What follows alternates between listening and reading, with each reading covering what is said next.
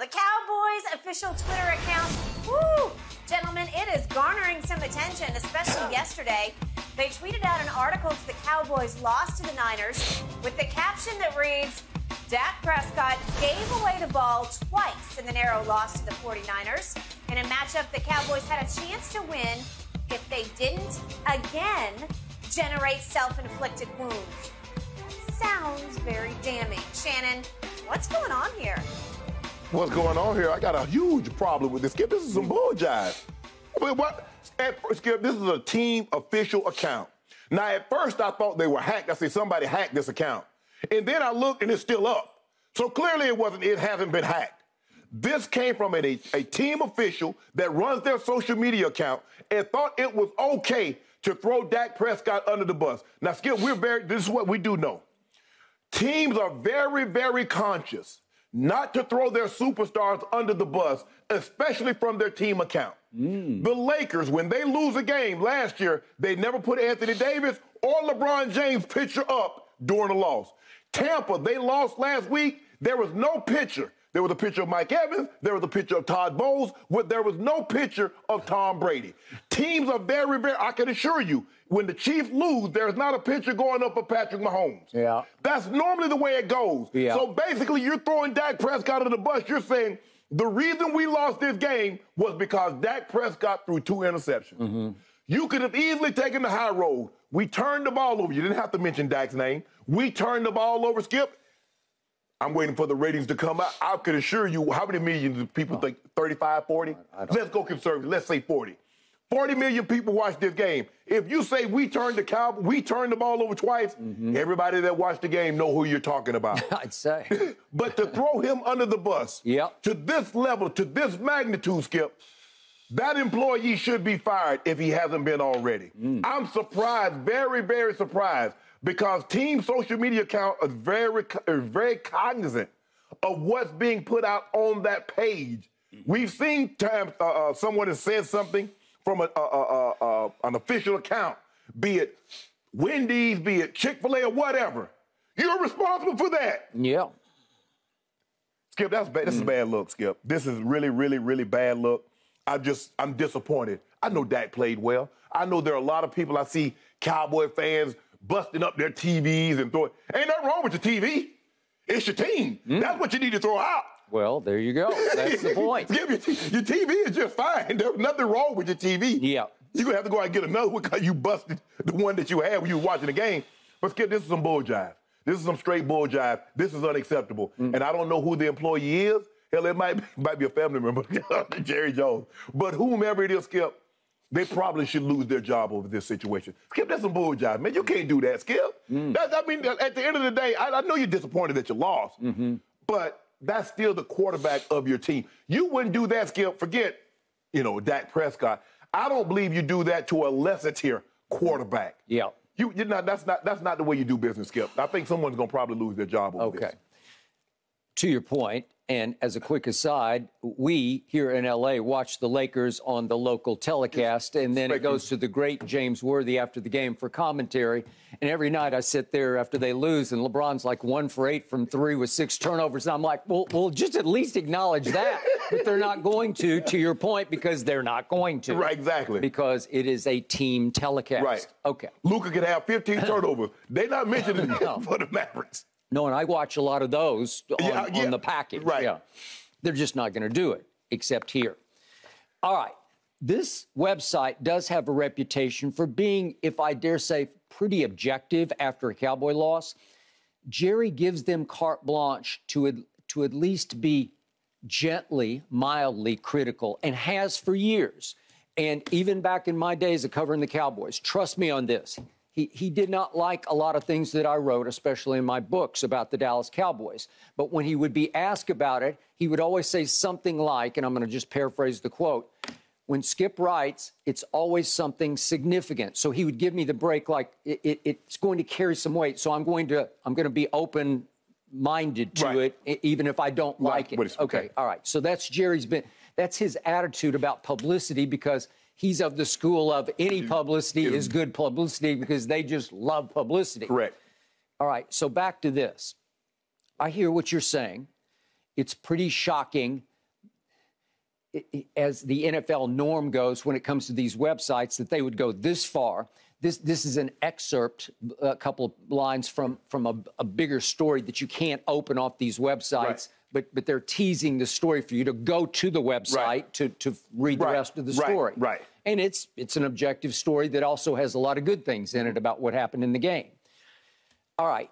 I don't know the inner workings there. I used to know them, but it's been a long time since I've been there. So, to your point, could a family member or a close family friend be sort of in charge of this? It's possible. Possible. Okay, I'm going to go one step farther with you. Is it possible that Jerry made it clear after the game that it's now open season on Dak? It's possible. Yeah. Because I'm going to quote the great Shannon Sharpe here. You have told me again and again, you told me on Friday, the body of work. We're, we're seven years in now, and you keep telling me he is middle of the pack yeah, Dak. Yeah, the sample size. You you you give me that sample size. Yes. It was you that gave me the sample size. That is correct. But it's a big, broad sample size. We got Yes. lots of Got information. We got seven years. We've got what six playoff games. Yes. in. Okay. So we we get all that, and Jerry got it right between the eyes, and he kept saying using the word sick after the game. Yeah, seven times. I, I think he was heart sick, as as was I, because I think the gravity of the situation had avalanched on his psyche, where he's saying, "Man, I'm not getting any younger here." No, he's about to be 81, I think, correct. next November. That is correct. But can you believe, Skip, not to cut you off, Yeah. do you realize the last time Jerry Jones won a Super Bowl? He was in his 50s. He's bypassed his 60s. He's bypassed his 70s. Yeah. Now he's in his 80s. And he's looking at it like, I don't know if I'm going to be around in my damn 90s. I know, because I met him when he was 49 years of age, when he had just come from nowhere to buy the Dallas Okay. Cowboys. He was 49. He looked like a young, strong bull of a man. He was my age. I- I'm I got 54. Jerry was 54 when he won his first Super Bowl. There you go. And you got a lot of years ahead of you. Yeah, I like to think I And give me all of a sudden. Jerry's looking at his mortality, right, right in the mirror. He's looking at his mortality. Once upon a time, he used to get kidded about he had a little facelift, and now it doesn't look so great anymore because time marches on. Yeah. And here we are, and here he is, and he's like, God, I'd write any size of check to win another Super Bowl, and I thought I had one here. I thought they had one here. Right. I, I thought this team had the kind of firepower and and that's what that's what is just tearing me apart. I'm still very raw from it, so I'm not in the best place to talk about this because the more I think about what happened at San Francisco, trust me, the worse it gets. Yeah, because your ex- Skip, your expectations were here last year, Yeah, and and now they that were here this here. year. They- so the greater expectation, the greater the disappointment, and the hurt is after you don't meet said expectations. Okay, my defense, I think you would agree, played well enough Yeah. to win the football Oh, game. 19 points is absolutely 19 points should give you a chance to win Yeah. the football game against a rookie quarterback, obviously in his what was that, his seventh start. Yes. Obviously we got a terrible break with Tony Pollard going down the mm-hmm. second quarter. God bless him. I hope he can rally and fight back quickly. And obviously we had a kicker issue, but it didn't really manifest itself through the rest of the game because I kept telling you he hasn't been missing field goals, only extra points. Right. So you can't use that as an excuse or an out. But you, I, I can, I can imagine what was going through your mind when that PAT was blocked. No, I- you I like, oh, here we go again. Here, here we go again. but we we navigated. You it. did, you did. And, and he made the two field goals. So so it, unfortunately, I, I'll I'll say this. The more I looked at the Trevon Diggs dropped interception, it's it's a killer play because Yeah. it comes at near the end of the third quarter. It's nine to nine. Right. We went to the fourth quarter nine to nine. Correct. But it, it's a deflection that hits him right in the hands. He's the best ball hawk in the secondary, former receiver. Yes. Went to Alabama to play receiver. Right. It hits him right in the hands. It hit him fast. It Right. came out of nowhere. It was redirected. I, I get all that, but but if anybody in my secondary, if I could pick somebody to catch that ball, I would pick Diggs, Yeah, right? I agree. And and it hit him so right in the hands, and he just muffed it and fumbled it and, and couldn't come up Right. with it. Well, if you hang on, you, you cancel their seven points that they took the lead with, right? Yes. And all of a sudden, the momentum swings wildly back to Dallas because the kid finally made a mistake. Right. And here we come, and there they go. And, and who knows what happens from that mm-hmm. point on.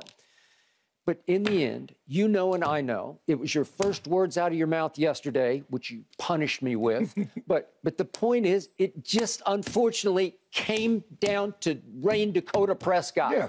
It's number four or bust, and you have to make one play, and he couldn't make one play. No. Seriously, one play. So just to drive home the gravity of my pain here today and where I'm about to go with this, could we just quickly show everybody, in case somebody missed some of this? I, I, think nobody in the known world missed any of this, but let's just bang through these plays quickly just to show. This is the first interception, and that gives them three points. Well, yeah, look how that gives them three points. Can't be late. Here's the second interception. The second and two at the 18. This cancels out at least three for us, maybe seven. And then here's the throw to CD that he, he is so he is so run by, he is so open that that, that could have been three or seven. And then CD's got a step. And if you get that ball out where he can yeah. run to it, that could be three or seven. And then finally, this is to Gallup. And he's so low, he's gone, mm-hmm. open. He might still be running with it. Let's do three or seven. Okay, so he, here's what I did. I, I'm going to do, of those five plays, I'm going to do, there was a maximum points that could have been scored off those five plays of 24 points. I right. know I'm going to the max if, okay. if you, you hit the lottery right. on every one of those okay. throws but a minimum point scored on those uncashed plays was 12 points. Correct. Well, the final score was, as you know, uh, 19 to 12. 12. So, so you give them that would have been 24 to 19 right, right there. Right. So th- those are cashable points, and I believe Maher can make those mid-range sort of field goals. Right. My point is, it came down to the quarterback. My point is that you and I have gone back and forth, back and forth. Is he good enough to win a Super Bowl? You or, said yeah. Well, well, I had to because I have no choice until this moment right now. Because the the flip side of it is, is he just never going to be anything more than middle of the pack Dak, who will always tease you into believing he can go farther than he can carry them? Is his ceiling maybe one playoff game a year here and there, like every other year? Is yeah. that his ceiling? Well, yes. Think, uh, here's the thing. What I think, Skip. How about we find a way to be in between where he was Sunday and against Washington as opposed to where he was against Tampa. Can we get somewhere in between yeah. that? Because because the thing is is that his high is incredibly high. You look at what he did against Tampa. You said a 97 QBR, over 300 yards, three touchdowns. He played a flawless game, and then he comes back. Bruh, we don't need you to replicate that again, but you can't go to the bottom of the sea. No. And that's and that is the problem with a lot of quarterbacks. The really great quarterbacks, Skip, they can manage the low. They're not going to always be 325, three touchdowns, yep. but they're able to. They're not going to give you three interceptions, two interceptions, a pick six, or things like that. You have to be able to manage the low. And right now, I don't think Dak has found a way to manage his low because when he steps off the cliff, I agree. So what you're saying is. His ceiling is actually an edge of the top 10 quarterback. Yes. But his floor yes. is actually a bottom 10 quarterback yes. because when he goes south, he just goes yes. south. Yes. I think Skip Sunday, the 12th best quarterback in the, in the, in the league wins that game. Okay, I told you Cooper Rush wins that game just because he plays more clean football, more efficient, capable football where he makes the play when it presents itself. Well, you're not going to get that throw to CD down the sideline because I don't think he got the arm okay. to get it there. I, I, think his arm is better than you're giving it credit You think for. so? Boy, he threw some big balls at, at New York on Monday Night Football to CD. CD dropped one of them. Skip, that was, 50, that was like, what, 50 yards okay. that he hit CD with, okay. right? Okay, I, I got it. But – my bottom line, my conclusion, my my devastated conclusion is that, that Dak will always tease you yeah. without ever rewarding your patience in right. That, that this is it. This is who he is. But you've been preaching that from day right. one. I kept trying to make a fourth rounder into the fourth overall pick right. because every once in a while he could give you those. Right. This year he gave you the Bears game, he gave you the Vikings game, he gave you the Eagles right. game, and he gave you at Bucks and at Brady game. He gave you four, and he also led the league in interceptions in only 12 games. It's, it's hard to do, yeah, right? It is. It's very hard okay? to do. So who is he?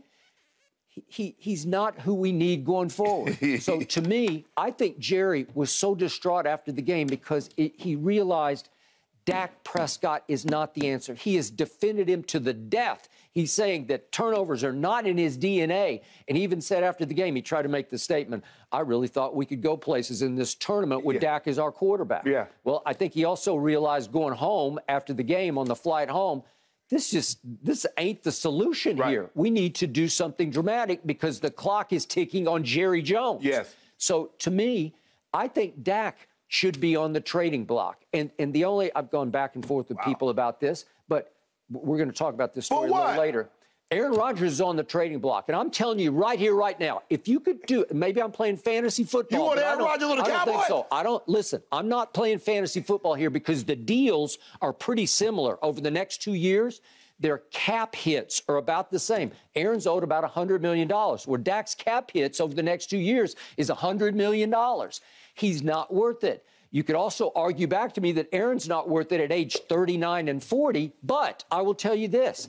Is he not the ultimate cowboy killer? Yeah. He is eight and two lifetime against the Cowboys and two and zero in the playoffs. But then he might kill you once he get there. Okay, kill he you might. from within. Okay, but I, I would listen. Just I, I have to do year by year. Okay. If you told me right here, right now, with whatever team I have coming back, probably lose Dan Quinn as the coordinator. If you told me I could have Aaron Rodgers next year or Dak Prescott, I'm going Aaron Rodgers because, as you always tell me, he is a transcendent thrower of the Yeah. football. He's also a big blame deflecting, finger pointing diva. What, about But- come playoff time? You still Okay. want him? Okay. Listen, do I want Dak Prescott? I, no, no, I don't. I'll take Aaron Rodgers. At least he won a long ago, far away Yeah. Super Bowl, You right? remember that? I do. Well, Okay. Mike McCarthy, would he love to reunite with Aaron Rodgers? Well, Aaron took him for a great ride, He right? did. Okay. Could, could Aaron dredge it back up with a change of scenery? Could he just heave a sigh of relief getting out from under Yeah. all the chaos in Green Bay Yeah. and say, okay, watch this? Does he want the pressure skip of going to Cowboys because he's supposed I don't to? know. Now you you, know what? do. It's a great question. He's the missing piece. I mean, when Peyton Manning went to Denver with all that talent, they said, "Okay, you're the missing piece." When Tom went to Tampa, they said you because Bruce Arians says, "Hey, we'd have made the playoff if our quarterback didn't turn it over 30 plus times." So now you, you, you does he want that pressure of being the missing piece to take this Cowboy team that you believe is talented enough, with the exception of the quarterback position, all the way home? I, I can't answer for him. I just know what he is and what he is not.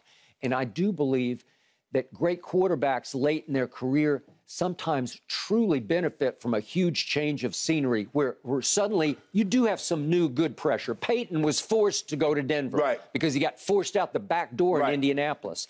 And all of a sudden, he says, yeah, I'll do. Well, how about Brady going to Tampa? Yes. Oh, he got forced out, Yes. and he says, "Okay, watch Right, this." right. Well, Aaron should be in the same caliber. He should be in the same echelon of one of those great older quarterbacks who says, okay, watch this. Because Dallas is not untalented. I think No, we can yeah, agree well, on yeah, that. There- there's a lot of talent Yeah, left there. yeah. And again, can they figure out how to get a little bit better? Maybe. If, can Tony Pollard, are they going to re sign him?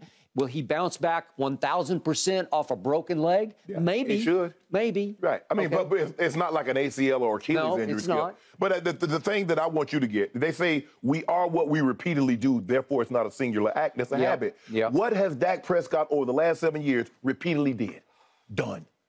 You, you, he's turned the ball over. Okay, okay. Yeah, for, for And- a while, he up- was fumbleina, and then he became Mr. Interception. And then Okay? come playoff time, he's two and four in his six playoff starts. Yep. So come playoff time, he normally comes up really small. He all and has there, it, there hadn't been very many playoff games in which he hasn't turned the ball over at least once. That is correct, but he'll give you a blip. He did Yes. beat Russell Wilson in a home playoff Yes, game, yes. and then he'll do that, and he'll do that, and he'll do in the last two games against San Francisco. Shannon Sharpe, look at the torment I'm going through over the last 24 hours. I had to watch the 49ers beat us twice and go on to the NFC Championship game with Jimmy G at quarterback And and Brock Brock, Purdy. Purdy at quarterback, and I'm I'm stuck with Dak Prescott. Are you kidding? That- so that, that should tell you everything you need to know. Whichever teams get the better quarterback play, that's normally the team that advances. It is. It's just hard Okay. to it's just hard to overcome that. Okay. Teams the way the league is set up now, Skip, the way you can throw the football and all the rules, it is just hard. You but pack your defense, you bring your run game, but at some point in time, they're gonna force that guy to throw the football. And when they force him to throw it, is he gonna throw it to his guys or your guys? Okay, it, you're you're so right. I, I'm I'm actually coming over to your side of the table, and I'm saying, I threw Dak's jersey in the trash can on Sunday night, for real. I mean, I mean, I was serious when I did it. I was got- angry. No, Skip. It's not the jersey. It's not. It's, Okay, it's but that. it- it's it's an act. It's it's I- I know, mean, but it's a it- it's a symbolic act. I don't know if you've seen the memes, but they got a bunch of people dumping Dak in the trash can. The, the- the actual Dak. All right, But well, anyway, I haven't seen it, but but I, I'm there. I get it. I mean, no, I wish no harm on Dak, No, but I'm no, just no, no. saying. It is- it's- right. But let me, so, so are you? oh, So let, let, us get to the crux of the, what we the, the opening. Yes. Are you? Do you have a problem with the tweet? I, I wonder if it can't if Jerry signed off on it, if he blessed it. I do. But Skip, even if he blessed it, it- you could still have a problem with it. Okay, well, it's just not the way business is done. so, absolutely so I get it. Except they have had a reputation for being fairly objective. I'm having a hard time getting all worked up about it because I, it, it's actually pretty tame to me. It's it's like a statement of duh. You can't put the man pitch Skip. You don't Okay. normally put in a loss. You don't normally put your star. no, It- it- feel like unless that. that's the mood of the whole franchise right now. Well, I'm sure everybody's Yeah. disappointed, but damn, everybody just just disappointed in that. Yep, I think it boiled down to that, unfairly or fairly. I think yeah, I think you agree. It boiled down to just that. Well, So Aaron Rodgers, come on down. Now you want. Come on down. I don't even like Aaron Rodgers. man, but I'll you- take him over Dak Prescott. He's available. He I know he's. He available. he don't want to play. He don't want to play with your team He you, does. you nah, I- nah, I nah. think six he would years- love being six in years. Dallas, no, he's heard everything you said for about seven years. I know. No, let me take that back. Not just seven years on this Hey, show. hey. Probably about 17 years on the other show. back. That is true. that is true. But I'll take him over Dak. Doesn't that sum up my feelings? Yeah, you okay. you in a really low place. I'm in a low place. Interestingly enough, guys, both Jerry Jones and his son Stephen nixed their radio interviews for this week. As much as Jared like to talk. Yeah, nothing from Can't them. take it. He, he, he's he's I guess way he, I guess last year he was disappointed. This year he's uh-huh. sick. He's Hey. sick of being disappointed. That is correct. disappointed and being sick. Sickening is what he says. All right, guys, let's move on. Thanks for watching, Undisputed fans. Subscribe here to get the very latest from Skip and Shannon. Plus, go watch a few segments from our other shows on FS1.